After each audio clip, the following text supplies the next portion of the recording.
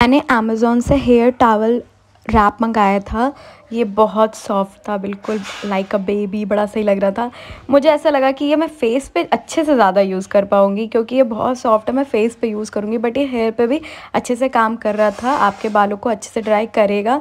मेरे तो कर रहा था, और मैं थोड़ी वेयर्ड लग रही थी। मैंने इसको वन में ख़रीदा है। को वीडियो पसंद आता है, वीडियो को लाइक कर दें और चैनल को सब्सक्राइब भी कर दें। Thank you